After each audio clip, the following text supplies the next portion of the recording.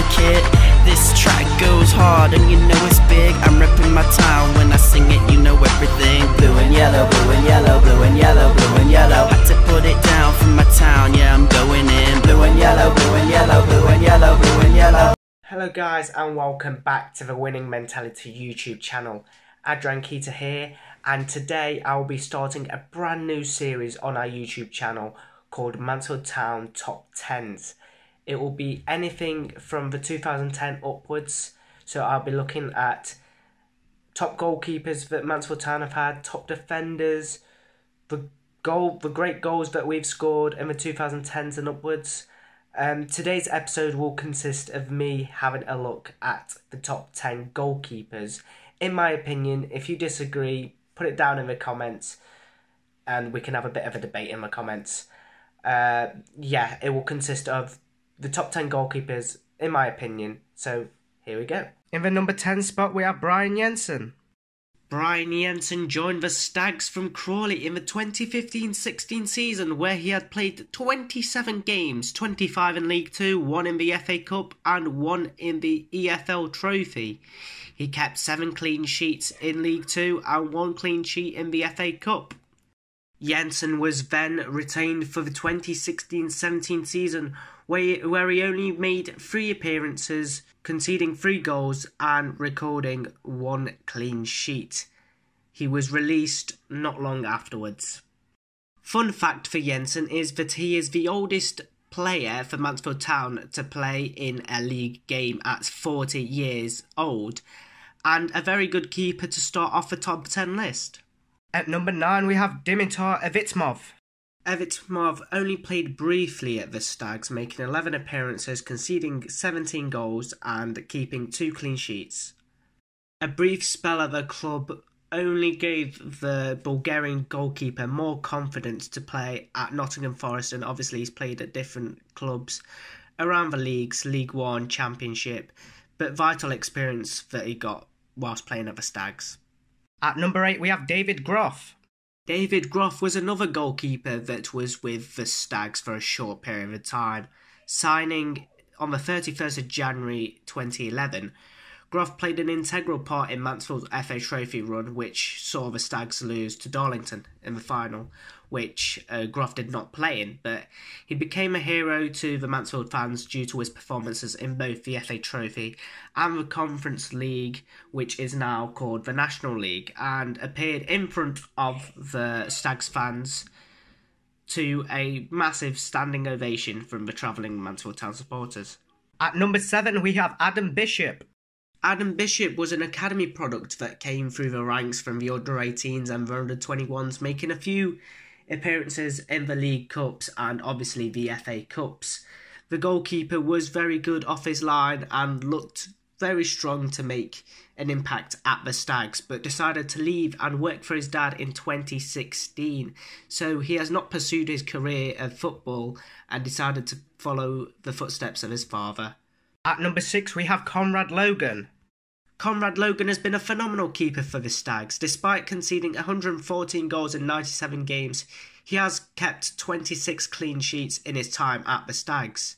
He's been a phenomenal shot shot stopper for the Stags, especially in the EFL League Two playoff semi final against Newport, where he kept out a penalty and kept Mansfield within touching distance of going up into League One but it wasn't to be as Newport County beat the Stags on penalties. At number 5 we have Aidan Stone. Ex-manager John Dempster acquired the services of young and talented goalkeeper Aidan Stone. The goalie has only made four appearances for the Stags, but with Conrad Logan out on loan and Bobby Olejnik struggling for fitness, the young goalkeeper has filled their boots really well and has coped tremendously to first team football. I'm excited to see how he will develop and whether he will be the number one goalkeeper at Mansfield Town in the years to come. At number four, we have Sascha Studer. Another player who was with the Stags for a brief period was Swiss goalie Sascha Studer. The goalie joined Mansfield Town in the 14-15 season from Swiss side FC Winterthur. The goalie t- made 22 appearances that season for the Stags, claiming 7 clean sheets, which is a good return for a backup keeper. The 28 year old returned to Switzerland after his brief spell at Mansfield and currently plays in the fourth tier of Swiss football. In third place, we have Bobby Olejnik. Bobby Olejnik joined Mansfield in the 17 18 season from Exeter City. The Austrian keeper played a vital part for Mansfield in the 18 19 season as the Stags looked to go up to League One, but an injury midway through the season ruled Olejnik out for the season, and with that saw Mansfield only reach the playoffs that season, which they lost to Newport on penalties. The goalie returned back to first team football this season, making 13 appearances this season, and has looked to have returned better than last year, with maximum effort beaming from the keeper. Adding on to that, in the 18-19 season he made 17 appearances in the league before his season was cut short due to injury. He claimed 9 clean sheets and only conceded 11 goals in that period, which is an amazing achievement for a goalkeeper. In second place and runner-up we have Kevin Pilkington. Pilkington joined Mansfield in 2000 and left after five years at the club in 2005. He then returned for one more season at the Amber and Blues in 2010, where he made 10 appearances for the Stags. The goalkeeper was a huge favourite among Stags fans, and it showed through his career. The Stags fans were left sour faced on two occasions by Pilkington, though, is it not once but twice from Mansfield to their fiercest rivals, Notts County.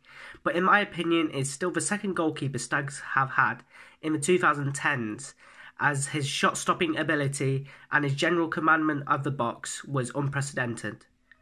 And the top goalkeeper for Mansfield Town in the 2010s, it's Alan Marriott.